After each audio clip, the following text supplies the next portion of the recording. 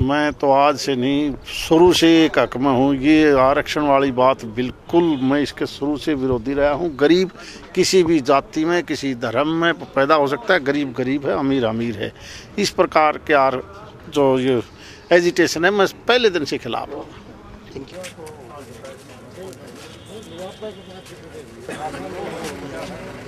अभिमन्यु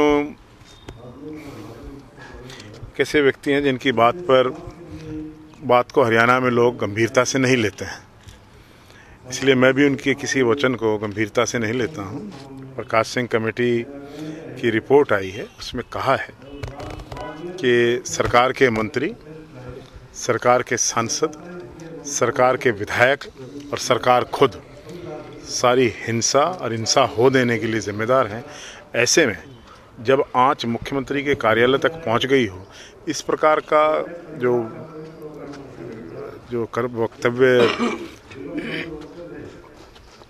अभिमन्यु जी का आया है तो मैं समझता हूँ कि उनको पहले प्रकाश सिंह कमेटी की रिपोर्ट पढ़नी चाहिए, उसके बाद ये सारी बात करनी चाहिए। सरकार जो है, ढाई साल के अपने कार्यकाल में फेल हो गई है, कोई ऐसा काम नहीं कर सकी जिसकी तरफ़ जनता का ध्यान। और अपने फेल्योर से जनता का ध्यान बंटवाने के लिए कभी कोई मुद्दा छेड़ देते हैं, कभी कोई मुद्दा छेड़ देते हैं। एस वाई एल के मुद्दे पर आज तक प्रधानमंत्री ने इनको समय नहीं दिया है।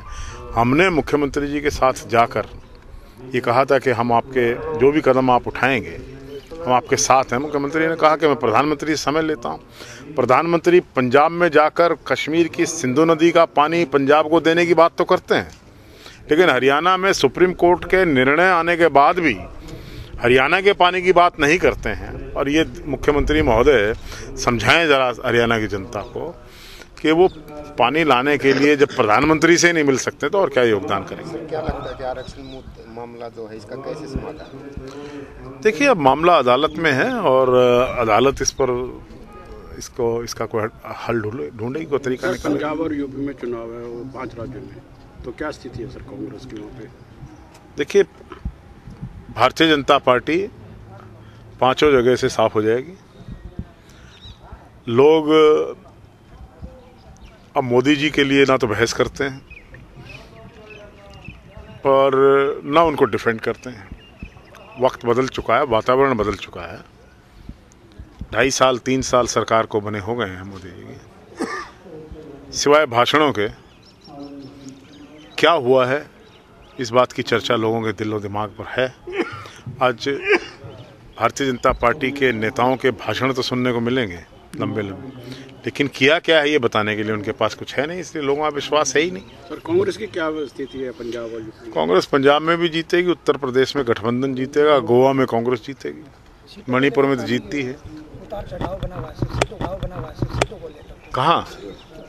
उत्तर प्रदेश के अंदर हो जाएगा सब समय के साथ साथ चार फेस पाँच फेसेस सात फेसेस में चुनाव है।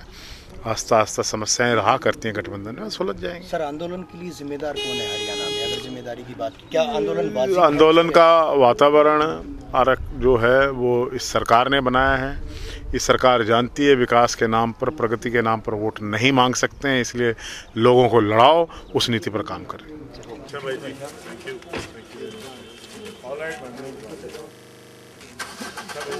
अच्छा